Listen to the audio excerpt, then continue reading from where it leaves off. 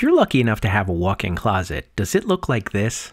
A single wooden bar on each side, overstuffed with clothes on hangers, a shelf sagging with stacks of sweaters and purses, and shoes everywhere. Wouldn't you love to have a custom closet like this with ample shelf space, 8 drawers, 28 feet of hanging space, well lit, and a floor to ceiling shoe rack? Well, you can. Stick around and I'll show you how to do it yourself.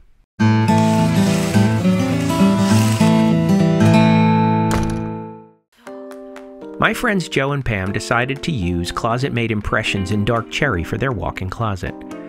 We bought everything at Home Depot. Check the links in the video description, and you can buy them online and pick them up in the store. The first thing we did was measure the room and draw the design in SketchUp. But graph paper works just as well if you don't have SketchUp. This closet isn't big, so we needed to maximize the space.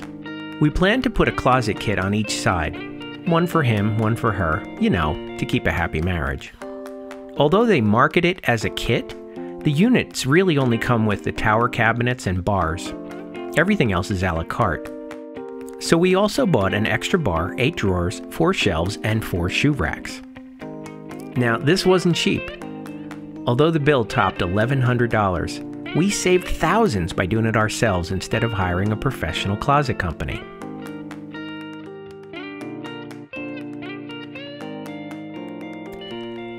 This furniture is known as Ready to Assemble, or RTA, because, well, you get to assemble it.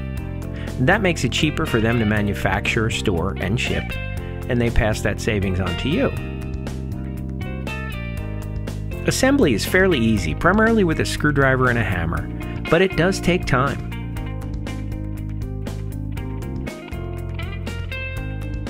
Oh, and by the way, the wood glue isn't included for these moldings, so be sure to have some on hand if you decide to use this product.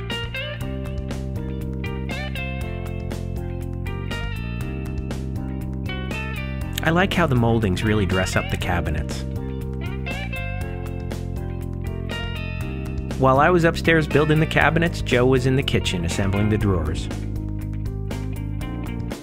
To make the cabinets sit flush against the wall, we either needed to remove the baseboards or notch the cabinets to fit over them. We choose the latter and cut the cabinets. To do this, we first cut the back out of the way and then use the jigsaw to roughly cut the shape of the baseboard. We use that first scrap piece as a template to mark and cut the rest. It's not pretty, but nobody's going to see it when it's full of clothes. Finally, we could put everything in place. It's very important to attach the cabinets to the walls and into studs whenever possible. I just put screws through the backs of all four shoe trees, but they provided angle brackets to secure the cabinets to the wall. The top shelves are installed with a bracket on the tops of the cabinets. They give you the same brackets with wall anchors to attach the other ends to the walls, but I don't like using wall anchors for heavy things like shelves. So I screwed scrap 1x4 pine boards to the studs to make my own shelf brackets that will never come down. It's a good idea to add another support near the middle of the shelf, definitely in a stud, to prevent it from sagging. I used painter's tape to mark where the bar hangers would go because pencil marks would be too hard to see on this dark wood.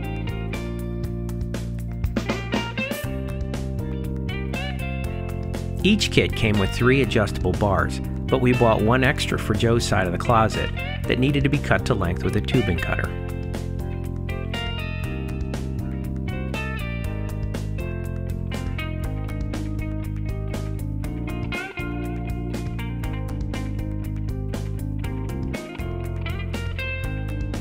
The drawers went in pretty easily,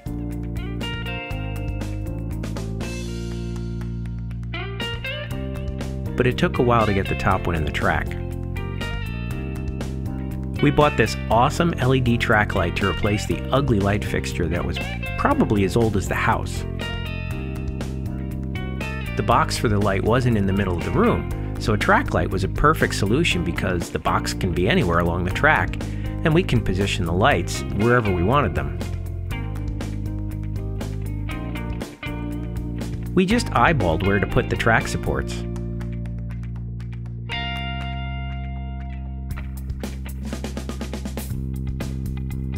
And then we attached the track and installed the lights.